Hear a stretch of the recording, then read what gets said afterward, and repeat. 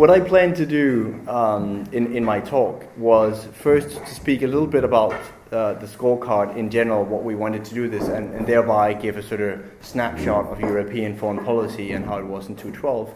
Um, and then zoom in afterwards on China. Uh, that's the chapter that I've contributed as, as author, and I've been doing the last three years, while I'm also writing other reports on, um, uh, on China and European relations. So, I mean, if you look at the scorecard, we started it three years ago and was a little bit sort of an effort to um, try and, and, and make a measurement of how is Europe doing on, on foreign policy. It was sort of after the Lisbon Treaty, where there was the initial um, uh, sort of sense of now Europe is moving in to become a global actor. There will be the European External Action Service, uh, the European sort of version of a, of a joint, uh, joined up foreign ministry. Um, led by uh, by Baroness Ashton as the, as the first new um, secretary of, of, the institution. Um, and so we wanted basically to say, okay, when when um, so this is the new sort of beginning, and let's see how, how the track record fares. As you all know, Euro crisis came at the same time, so a lot of our findings the last couple of years has been very heavily influenced by that. That in reality, the sort of bandwidth for foreign policy and for making Europe into a global actor has been, uh, to a large degree, pushed um, aside by the euro crisis. Um, I think in the first year we wrote that Europe was sort of distracted by the euro crisis. I think the second year we wrote that Europe was slightly, it was actually diminished as a foreign policy actor under the euro crisis. Um, this year the conclusion is actually a little bit more positive, but on, on the sort of slightly, I would say, negative background that I just provided, in the sense that um,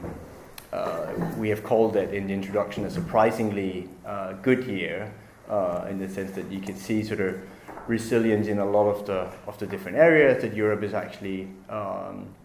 not at least going up completely up the seams, but uh, and we've actually given somewhat better grades in, uh, in, in some of the areas. That since I'm now sitting with all the knowledge that we've presented in, in, in different capitals uh, earlier on. I mean, I know in, in Brussels that even sparked a bit of discussion where even the, some of the people, top people from the EAS contested that whether it was really such a, a good year, which is also why I now give the background of saying we've done it for three years. The grades started very, very low because we basically said, well, the ambition of creating Europe into a global actor has been overshadowed by, uh, by the euro crisis. Um, and that's what takes up the sort of, uh, sucks up the, the mental energy of, of European leaders. Um, so that's a little bit of the of the background to why we're still this year sort of talking about a surprisingly uh, surprisingly good year. Um, how do we do it? I mean, we try to evaluate what uh, how Europe uh, achieves its goals in in the world. We're a team of um, of researchers um, uh, where we have in each member state there is a national researcher that helps us where we send them questions and can you all see? Um, you send them question. Um, I actually don't even know my Irish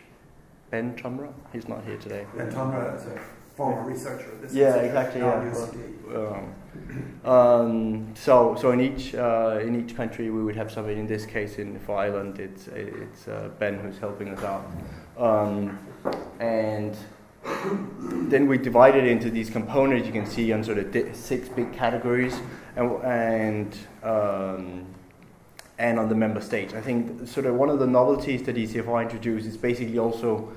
in not just in the scorecard but in general also grading uh, the member states. Um, in some of the publications I've been doing, where we've in, in the China program, we're doing a power audit of EU-China relations instead of just looking at what comes out of Brussels, out of the sort of policy statements out of EU China summits and so on, also saying, but what are the different groupings of member state countries? How do they align themselves? Um, and in that one, the EU China Power Audit had sort of different, sort of slightly quirky names for the different groups of countries, the accommodating mercantilist and the, uh, the gung ho free traders, and sort of put in, in different groupings to show how is actually uh, China policy uh, that comes out of Brussels made out of these different groupings. So in the same methodology we've used with the scorecard of saying, well, we don't just evaluate Brussels, but also of like how the different member states either contribute um, or dilute uh, sort of the effort to to shape a common uh, a common policy. So that's where we categorize member states as leaders, supporters, and slackers, which through the years, I mean, I would say now we have to sort of do a double research almost because the countries have now found out. So, of course, when Ben and others in other countries now go around asking some of the questions, particularly if it's to the MFAs, my own former professions, people would, of course, try to spin it and say, no, no, we've been doing this and this this year to help Europe and so on, well knowing that, of course, it all in the end it ends up in some sort of grading, uh, grading system. Um, and my own take, just to sort of say, I don't think you, it's not a sort of scientific. I think it's a well researched, but basically we also want to come out in the end with a sort of narrative about how was that year and so on. So it's I don't see it in, in that sense, even though we have to grade as a, as a system, as a sort of completely scientific system of sort of evaluating, because we've sometimes had foreign policy discussion where people have gone a lot into the methodology, but you could, and all that is interesting. And if you have any comments on it, we're always keen to improve it. Uh, but I think I tend to emphasize to say it's a way of providing a snapshot of where, where Europe is heading more than it is a completely sort of uh, scientific study of this is. Um, as I said about 212, I mean, one of the, the things we said um, in the introduction was that compared to the two previous years, where there's that feeling of complete unraveling, um, there's a sense in, in several of the, the areas, um, in my own area, with China slightly as well, where we gave uh, uh, slightly uh, better grades, but again from a relatively low starting point um, with Russia as well. I think some of my colleagues there, some of the way EU dealt with Russia and its entry into the WTO, um, and so forth. Um, but of course, there's still this big question looming over, over Europe about which we put on the, the sort of the question of, of Europe's continued loss of, um, of soft power, basically the, the, fact that the euro crisis sort of dents Europe's image uh, abroad, and that of course has an impact on how well we're we able to sort of achieve our goals in, in the world. Um, and that one we have actually thought could be really interesting to do a separate study on, of trying to sort of look Europe from the outside and sort of take a group of, of uh, large and particularly emerging powers, China, India, and so on, and see how does that spill over into perception of, of Europe as a, as a foreign policy actor. Because right now it's, it's more of a statement, a feeling that you, you get, particularly from my own um, research with meeting with, with Chinese interlocutors, is really like, well, is Europe still doing anything in foreign policy? I thought it was all about the euro crisis. So, of course, that's the primary question, even when you come as a foreign policy researcher, you'll be asked about euro crisis, what's going to happen, uh, what's going to happen next. So, I mean, the positive note is that, yeah, as you can see below, is that European uh, foreign policy didn't unravel in, in 212. Um, here you can see the different components we have. It's the relations with China, as I mentioned, it's relations with Russia, it's with the US, um, it's wider Europe, which, uh, yeah, that includes um, uh, uh, Turkey uh, as well and sort of the Balkan. Um, then, of course, the Middle, the Middle East and North Africa, where it's been particularly important to sort of measure how uh, Europe has been able to sort of um, shape up to the, the, events of the Arab Spring. And then the last one is sort of, of course, one which in many ways is sort of core of, of European raison d'etre, sort of multilateral issues, uh, um, CSDP missions, EU in, in the UN. Um, but again, out of all of these, there's a wealth of detail, so sometimes it's also, you can say you can you can have talks going on on each of each of those issues and um, uh, and and and stay on them for a long time. So I mean, I'm happy to when we do Q and A to to uh, sort of answer a question as best as I can, so also some of my colleagues' uh, area. But of course, I'll zoom in more on um, on uh, China. Um, then just a couple of words on, on the EAS uh, as well, which was, was meant a little bit to be the sort of the vehicle for, for Europe's new foreign policy uh, ambitions. Think one of the things, again, uh, we've seen over all three years, and also links with what I'm going to say about China, we've seen a sort of um, a slight renationalization of uh, foreign policy. That in reality, at the same time as Europe institutionally, with Lisbon Treaty, with, with setting up new tools in Brussels, we're actually moving towards the, um, setting up something that should create a more coherent framework uh, several member states, particularly among um, the bigger ones, sort of moved to uh, uh, moving slightly back and having more of it sort of uh, national. I mean, UK is of course an example out of out of also a policy stance by, by, by the current government of sort of always viewing things first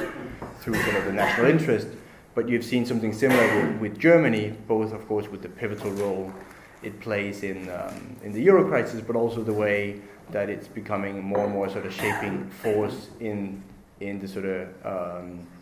relations with emerging power, and with China in particular, which I'll uh, come back to. One of the studies I, I, wrote last year was called on, on China and Germany was called the emerging special relationship, and, and sort of looked at how um, China and, and Germany, where Germany now takes up 50 or 47 percent of European, uh, so close to half of all European exports to China, meaning that they are sort of the same size as the three, four big ones, UK, uh, France, um, Italy, Spain combined. Uh, so there's really a difference in, in, in, size there. Beyond that, the German economy, of course, is, is, is, is larger than, than, than, the others. Um, and that, of course, has also started to have a, a, sort of political superstructure that Germany now does these sort of uh, government to government consultations where Merkel basically sits down.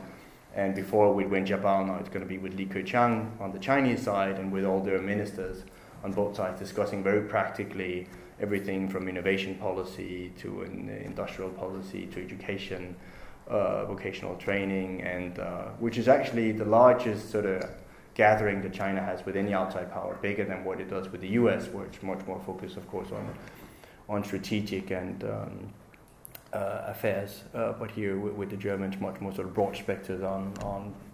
but starting from, from the economy. And that, of course, to, to a certain degree, does suck out some of the. I'm not necessarily saying when Germany is doing that, this is like sort of to the detriment of Europe, uh, but it does at least suck out some of the energy when you have uh, the largest member state that uh, uses a lot of its bilateral energy in, in building its own sort of strategic uh, relationship um, with, with China.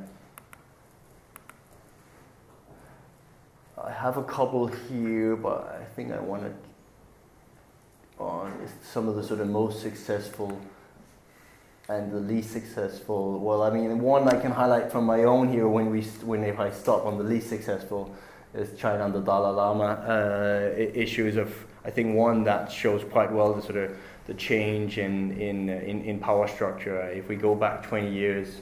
uh, Europeans um, after Tiananmen in '89 were able to put sanctions on. Um,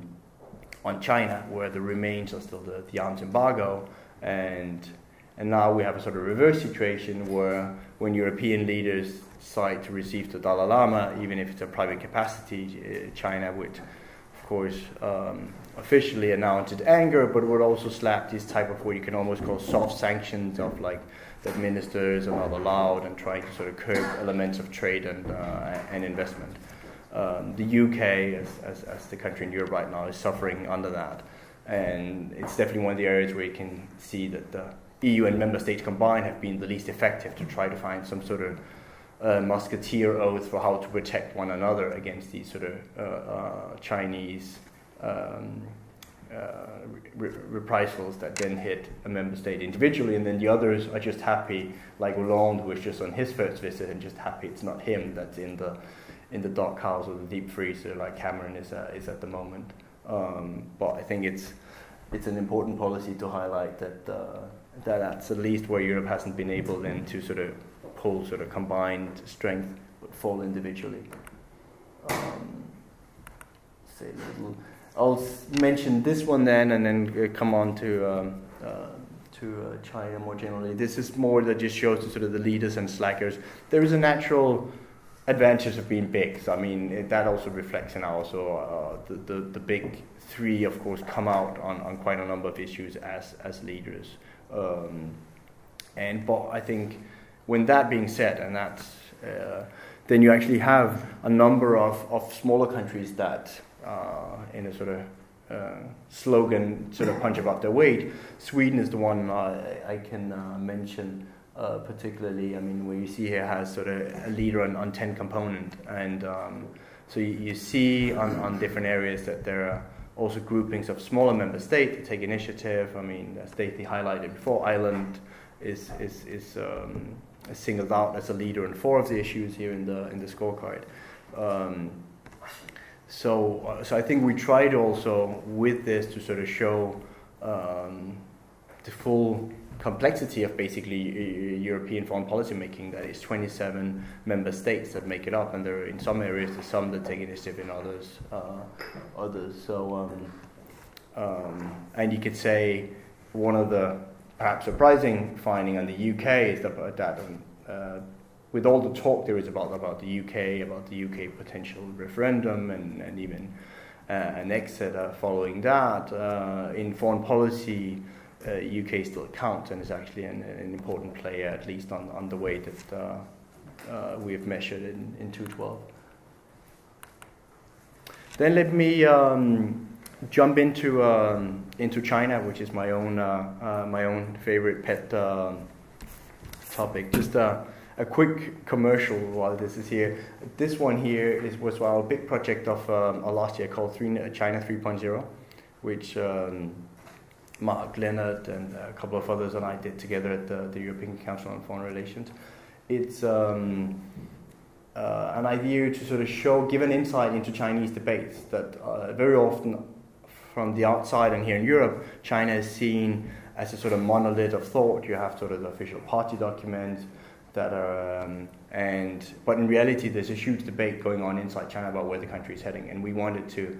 give sort of a, a better or put the limelight on these debates. And so here with 15 sort of of China's top public uh, intellectuals, we tried to sort of look at where is China heading in the next decade, both on the economy, on the foreign policy, and on um, social and political reform, and rather than focus on sort of leadership personalities in a in a time of, of change in China, then look at what are the trends that's going to shape um, uh, China. And in reality, I find that sometimes the debate can be even more lively than in in, in our own uh, liberal democracies, where we know democracy is a is a good thing that we take as a, a given. We take into the international liberal order as another uh, given, which is something that's debated in China. Whether is this good thing for China? Would democracy be a good thing? Um, and so, um, so that one has really been one of our key works on um, on China. And uh, but back to uh, to the scorecard and how we um, we looked at, at China in 2012. Uh, the first one I, I, put up and sort of as my header is what China didn't become the sort of the red knight of the euro crisis. What do I mean by that? Um, there I have to go back a little bit because when we did scorecard. And earlier, just to remind you, in like the sort of end to 11, you had uh, leading up to the European Council when the EFSF was um, the sort of the, the temporary rescue um, fund was set up. There was the idea to sort of leverage that. That if Europe just put in, um, I think it was 400 billion, then we would be able to leverage up to one trillion, and that would be with the help of emerging powers, where they especially look to China, also to Japan, actually, because of their currency reserves anyway, that sort of never really materialized. Then there is a lot of talk about how present is China in in uh, different national countries, European, in their debt in buying up sort of public uh, bonds.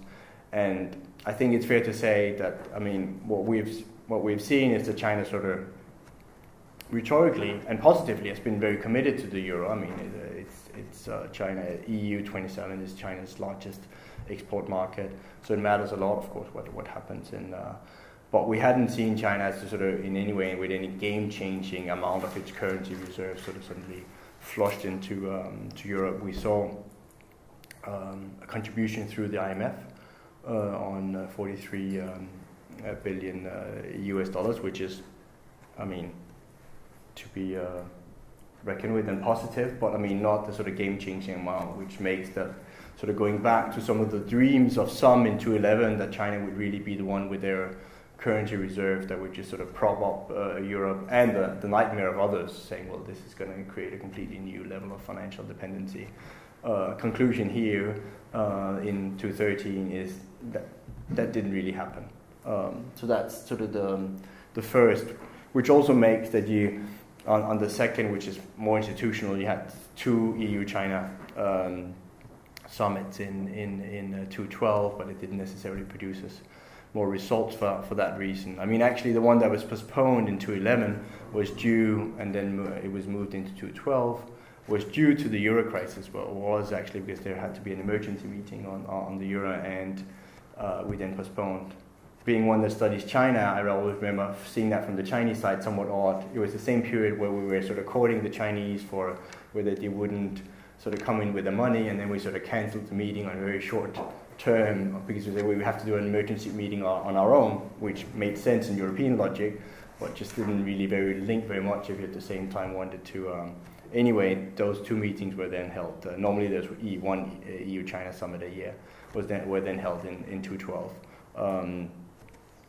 which showed sort of the, the, period of sort of slightly panicky approach uh, was over, but uh, on the other hand, it wasn't either sort of meetings that produced sort of great um, results. Then my third point is basically where I'm saying that all member states tend to be very strategic about China, but uh, slightly on their on their own. Um, that it's it's more and more relevant at the same time as as there isn't that much new cooperation coming into sort of EU-China summit. You have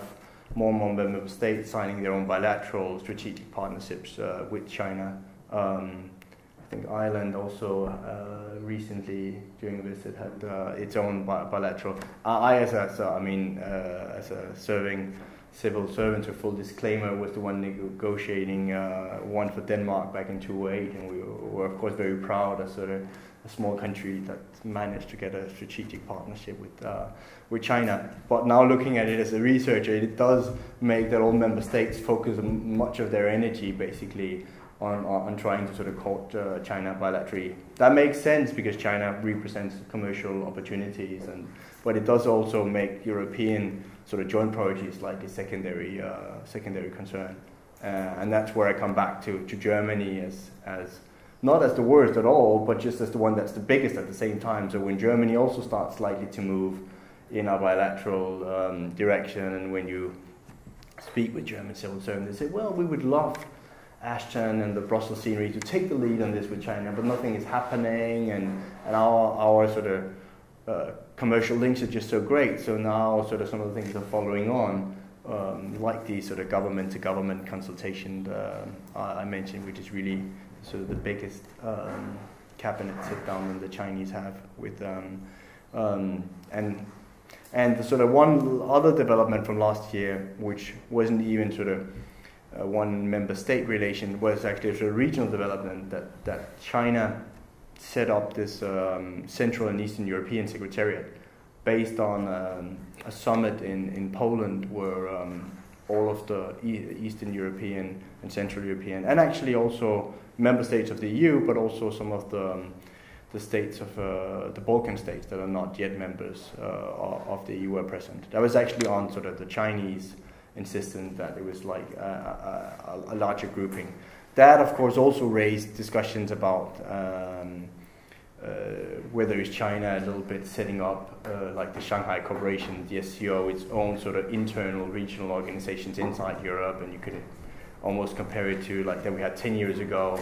Uh, Rumsfeld was dividing Europe into old and new Europe based on strategic uh, preferences, and now you have China based more on business map, where where do we see openings? So the here's how we want to make our, our Europe map of, of, of new and old Europe. Um, I must say though that uh, I think the uh, the Central and Eastern European countries got a little bit of um, either you call it cold feet or a little bit more lukewarm on also when they saw the way was seen afterwards in in um, in, in Brussels, particularly by the Poles that were uh, the lead on, on that. And when the secretariat later was set up, it was very much a sort of Chinese secretariat. Originally, it was meant to be one with, or the Chinese had hoped it to be staffed with both um, uh, Europeans uh, and um, um, and Chinese as well. And a lot of that is, is very linked to sort of commercial opportunities. There's an investment fund in it. There is um, sort of different openings for, for sort of joint science parks. And um, so all things you could say that most European member states anyway are, are, would really like to, to set up with, with China. Um, so uh, in a sense, to give a fair assessment of that evolution, uh, I think it also shows, and particularly some of my talks with, with Polish officials, that they have been felt left out of sort of uh, drafting EU's uh, policies. Say, well, either come it, uh, either it comes from Berlin or it comes from uh, Paris or London, and we're not really part of it, and we don't see ourselves anymore as sort of new member states in that sense, and particularly Poland, of course, uh, sees it as a sort of rightful place among the big six. So I think they also wanted, and if there's a lesson also from for, for Brussels, it's probably that bring them more into sort of how to, to shape the, the, the common policy because, and so on the smaller um, Eastern European countries that I that I that talked with officials said, well, for us it was just a practical way of getting to meet one of the Chinese leaders, even though we had to queue up all 16 and it was like 30, 20 minutes each. It was better than waiting for a, for a Chinese visit, which might come or might not come. So um, I think that's that's important to give a sort of full uh, picture of the whole thing. Then the last thing I wanted to um, to highlight from um, uh, the scorecard, and which I think could be also uh, a good way to, um, to start the uh, debate, is uh, one of the categories I, I, had in the scorecard is also broader about uh, EU's relation with, with, with Asia, where to character characterize it, it, it's been slightly based on two C's that it's mostly China, that we see Asia as China, the emerging power, and we see it as the other C as commerce, um, and very little in sort of strategic realm. Um, and, and particularly at the moment where you have sort of daily news trickling in on the Chinese and the Japanese on these island disputes, which for many Europeans, of course, are hard to get. Are they really willing to sort of almost fight over some sort of rocks that only prop up half of the year out, of, out by sea? But these are really sort of big uh, conflictual issues in, in, in, Asia. The same with the whole sort of the US uh, so-called pivot and now sort of rebranded as the rebalancing to Asia um, and what that means for, uh, for Europe. Um, and we put uh, in the scorecard this year that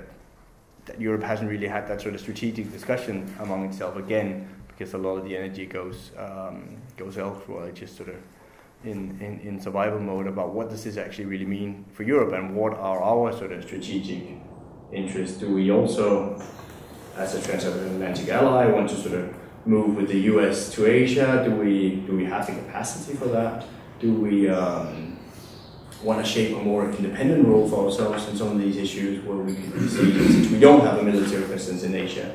as an honest broker, do we just want to say, well, it's too complicated, we want to stay in our, uh, we didn't want to be that much of a global actor, we want to stay in our near abroad, which could be a sort of type of division of labor type of approach of saying, well, in the future, if, if the US is moving to Asia and it's leading more from behind, Europe has to be able to deal much more with future situations in in Libya, future Georgia's in the sort of near abroad, and, and, and Asia is, um, is, is too far away. At least uh, what we wanted to bring in uh, to the attention is that, that that debate and that whole of seeing Asia also as conflict, conflict potential, of course, uh, with the big elephant in the room, the rise of, of China and, and, and how that sort of makes new um, coalition and alliance patterns in, in Asia or again, Europeans have mostly been focused only on China as a story about sort of emerging economic opportunities, which is, of course, the last piece still is and still will, will, will be, particularly if the Chinese manage the transition now moving from sort of investment and export-led growth to more growth created by domestic consumption. And that, of course, will entail complete new opportunities to continue not just producing in China, but also selling, exporting uh, to the Chinese market. So but so that was basically the last point of saying here is a big sort of strategic discussion which somehow sort of passed almost under the radar in, in, in, in the European uh, debate. Uh, I know when I talked with Ian just before that we've been writing on the South China Sea issues and trying to give them, uh, provide a background for them into the European, for European audiences. And I think, I think that's really important because uh, whereas we've been used to seeing Europe as sort of the navel of, of, of and the center of, of earth, I mean, that's moving more towards the east, and, and, and where others early on had to react to how the concept of Europe was shaping things, we might have to react to how the concept of Asia is, uh, is shaping things in the future. Um, and so, so sort of not just the economic relations, but also the strategic relations playing out in Asia are going to be hugely important for us.